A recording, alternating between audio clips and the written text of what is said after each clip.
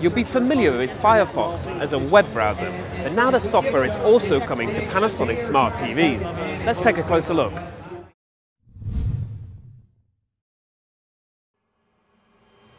From our first impression, Firefox OS gives you a cleaner and simpler user interface on Panasonic TVs, giving quick access to things like apps, internet services, and also Firefox web browser.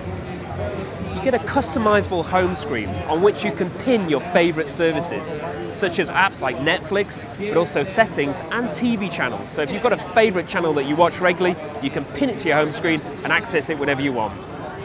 All the apps previously available on Panasonic smart TVs will also be available on Firefox OS.